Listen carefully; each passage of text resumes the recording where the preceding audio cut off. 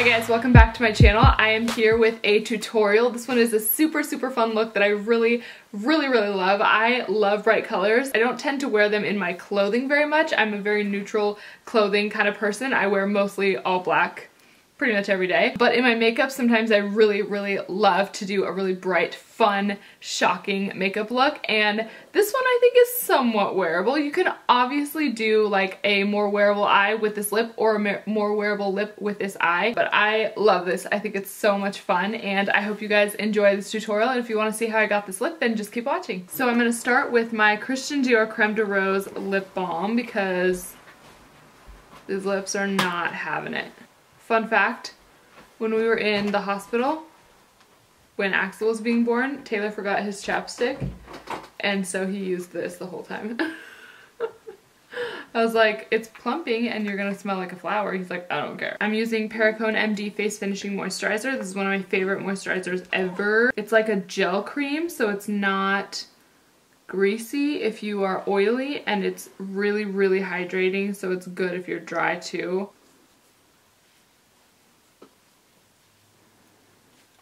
Next, I'm going to prime my face. This is the Nivea Men's Sensitive Post Shave Balm. Everybody is using this thing now, oh my god. I had heard that it's not really good for oily skin, um, and since then, a bunch of you have commented and said, oh, I have oily skin and it's really good, but also a lot of people have said, yeah, it's not good for oily skin. So if you have oily skin and you want to try it out, I'd say go for it. It's really cheap, you know, there's not a lot to lose, but um, but I'm hearing like 50-50. Like some people with oily skin really like it and some hate it. So I don't know. I really don't know what the answer is, but I say for anybody, it's definitely worth a shot because like I said, it's so cheap and it seems to do a really good job. So Taylor says my hands look like they went through a wood chipper, which they kind of do. It's winter. I wash my hands a lot. I'm a germ freak. So for my foundation, I'm going to use the Makeup Forever Ultra HD foundation. This is the new version of their HD foundation.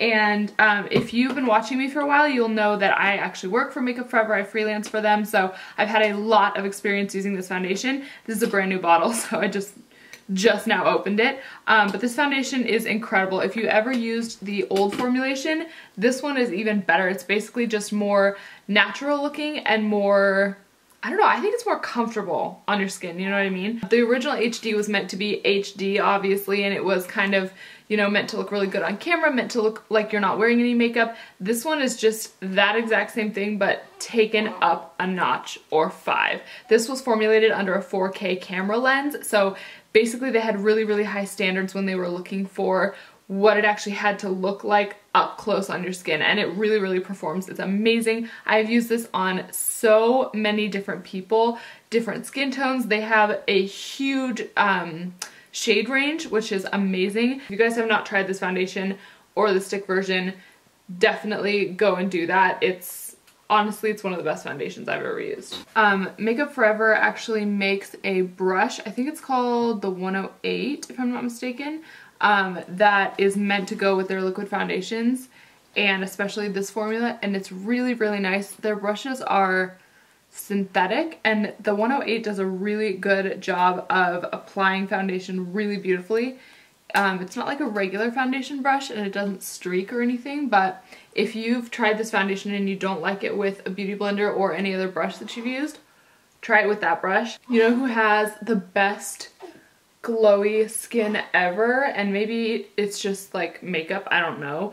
But um I watch Sandra Deluxe on YouTube she's on Instagram too. First of all she's gorgeous and she seems like the sweetest human being in the whole world.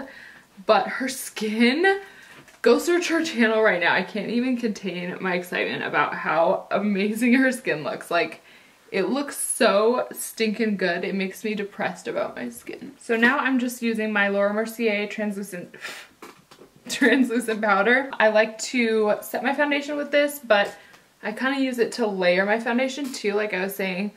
Um, once you put this powder on, especially with a damp beauty blender, I, I love the way this works. Um, I like to sometimes put another layer of foundation on if I'm wanting like a really full coverage. So for my under eyes, I'm going to use my Laura Mercier Secret Concealer. I use the shade 1. It's got just enough peachiness to where it's going to cancel out any like bluish tones underneath there. So I'm just applying that under my eyes. I'm being so good and using my ring finger, but oh my gosh, my ring finger is tired now. So I have to use my middle finger. That's why I do that. I always get yelled at because I know you're supposed to use your ring finger, blah, blah, blah. And I'm following that up with my MAC Pro Longwear Concealer. Um, this is the shade NW20. I'm just going to apply that with my finger. I think it's time for a new beauty blender.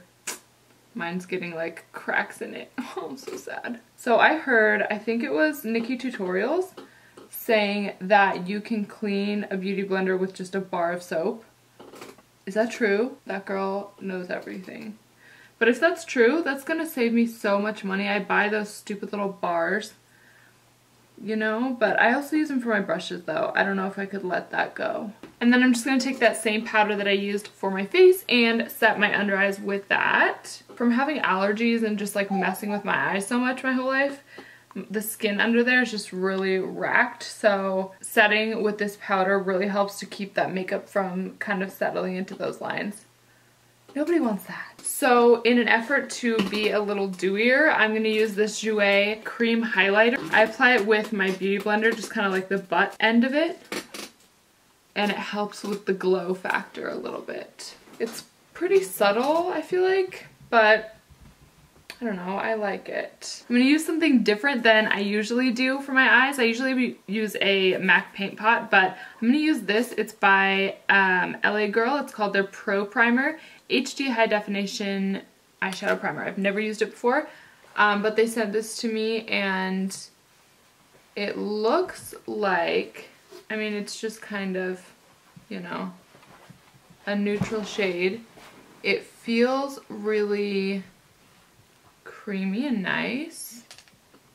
So we'll see how it holds up. So I'm going to just lay down a little layer of this powder here just to make everything nice and smooth for when the shadows go on. I find that it's easier to blend that way sometimes. Next, I'm going to take this shade from this Batalash for Socks Boss. Socks Boss? What? Saucebox palette. This one's called Cinnamon and I'm just to stick that right in the crease area. I don't necessarily need to bring this down onto my lid, but it doesn't really matter if it gets on there either. And I like this combination with, you know, kind of like the chickadee color and then something a little bit more brownish or like kind of earthy in the crease just because you can literally put any color on the lid after you do this in your crease, after you kind of set it up like this. It's just gonna complement any color. It's really neutral. You could do, you know, earth tones really easily. You could do something a little bit more colorful really easily. So I like this and when I don't know what I'm gonna do with my makeup, I start by doing this and then I just kind of like grab a color to throw on the lid and it's really easy to kind of get out of like a creativity rut with your makeup, if that makes sense. Okay, so going with this green, it's called Enigma in the same palette, and I'm going to put that on the lid. I love this color green. You guys may know that already because I use it. I feel like I use it a lot, and even if I don't, I like think about using it a lot. I love how pigmented these Saucebox shadows are, and the colors in this palette are just I love them. They're so me. It's not even funny. And I just like to go back with that cinnamon shade on this guy and just kind of blend everything together a little bit. Next, I'm going to highlight my eyes with this uh, just Champagne Pop highlighter and I'm going to do my inner corners as well as my brow bone.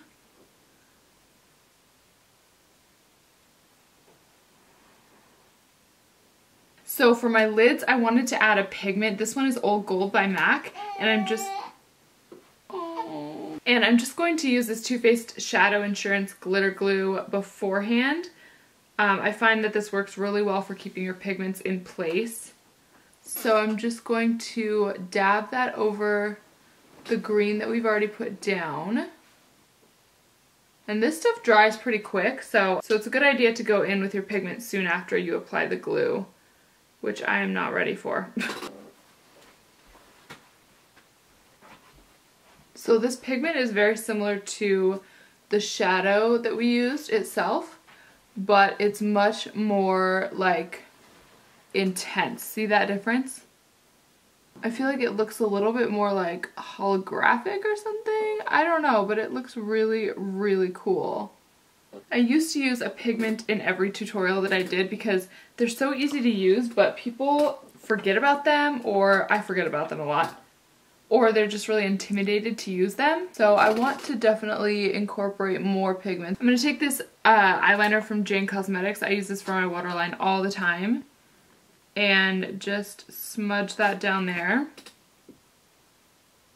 I think earlier I was saying Enigma when I used the green color and that's wrong. The green is called Electro. The color I'm about to use here is Enigma. I was reading the back of the palette totally wrong. Silly, silly me. So I'm just going to take that shade and smudge it out with the liner down there and just kind of mix that black with that um, bronze shade. I'm going to take that same eyeliner and just do a little bit of the upper lash line. I'm going to smudge it out and make it a little bit like smudgy.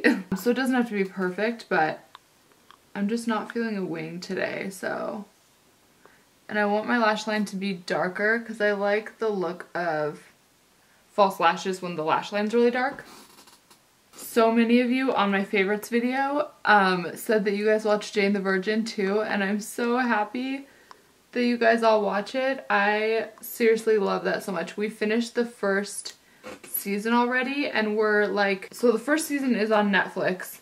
The second season is on Hulu, but there's two episodes of the second season that are not on Hulu, so we're like trying to find those two episodes. I think we're just gonna have to buy them off of Amazon and watch them um, so that we can watch the second season because we're like having withdrawals.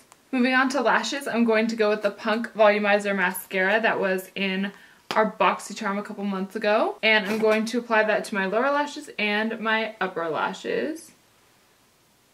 I think my lower lashes are almost as long as my upper lashes. That's really annoying. So I've applied false lashes and I'm going to move on to my lip color and then I'm going to do my cheeks last, I guess. I always block out my lip line with my Kat Von D Lock-It Tattoo Concealer. I'm in the shade Light 18 and I just use that to kind of cancel out my lip line. So it looks really cute at first. That will hide my lip line and kind of allow me to wear colors that I wouldn't be able to wear otherwise. My lip line isn't very defined and so sometimes colors just appear to like kind of bleed into the rest of my face.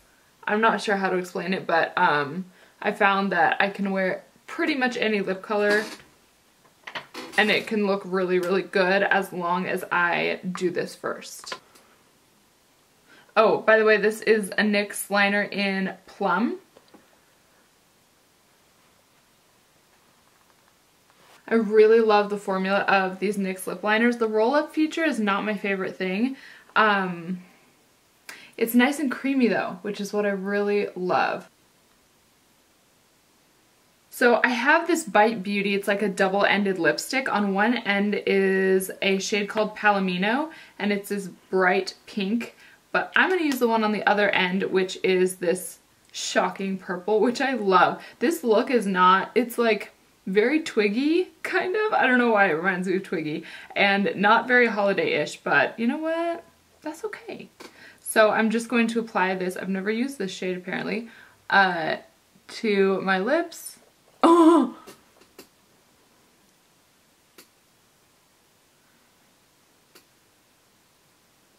Mm-hmm. Yes. Yes, ma'am. Yes, ma'am. I'm going to just bronze my face with this Girlactik bronzer. This is the shade Cabo. This is like my go-to for quite a while now. Girlactik makes really, really nice bronzers, guys. I've said that a million times before, but it is true. Next, from the Morphe 9B blush palette, I'm going to use, oh, I'm going to use, what am I to use? I'm to use this guy, and I might mix in a little bit of that guy.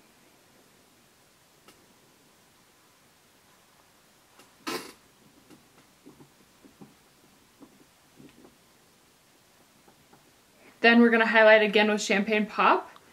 And I'm just going to sweep that over the top of where that edge of the blush is. I'm also going to contour my nose just a little bit. Same bronzer as I used on my face. So that is it for this really bright makeup look. I hope you guys enjoyed this tutorial. I had such a fun time inventing this makeup look. I just kind of came up with it as I went along. You guys probably know that's what I usually do for my tutorials. But yeah, I hope that you guys can see that even though this is really bright and like seems intimidating, it's actually made up of just a bunch of really, really easy steps. So that's kind of one thing that I really, really want to communicate here on my channel is that literally every makeup look is broken down into really, really easy steps. Um, it's just a matter of taking those steps and getting familiar with kind of like how to build the look, if that makes sense. So anyway, I hope you guys enjoyed this tutorial and I will see you very soon in my next video. Bye!